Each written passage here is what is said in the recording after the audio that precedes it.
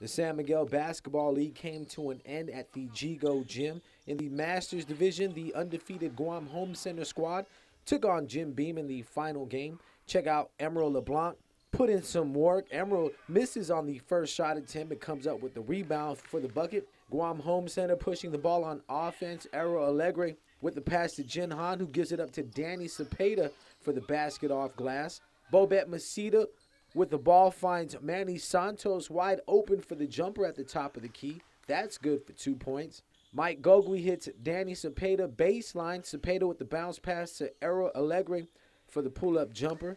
Nick Dunca racked up bucket after bucket inside the paint for Jim Beam.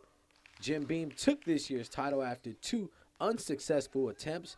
Third time's a charm for the team, who has met up with Guam Home Center in the finals for three straight years.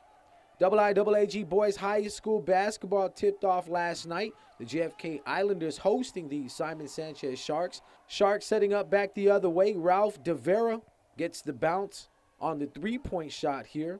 Cha-ching. Sanchez inbounding the ball. Number 23, John Buon, almost gets the reverse lane to go. Rebound by Ricky Pack. JFK going the other way with the ball. Number 12, Billy Belger with the take to the basket for the left handed layup. Belger coming up big on defense with the steal for the home team and passes it to Jan Pineda, who is trailing for the easy basket. The Simon Sanchez Sharks looking to attack the basket here. Ralph DeVera drives to the rim, drawing the double team and dumps it off to Jun.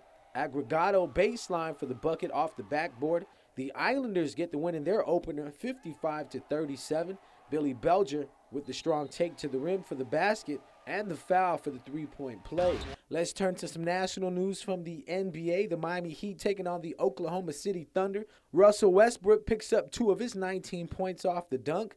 Kevin Durant also finished the game with 19 points. KD slow to get up after the big finish here. OKC up by eight. Thunder win 94 to 86 to go a game above 500. Reggie Jackson with 16 points off the bench for the Thunder in the win.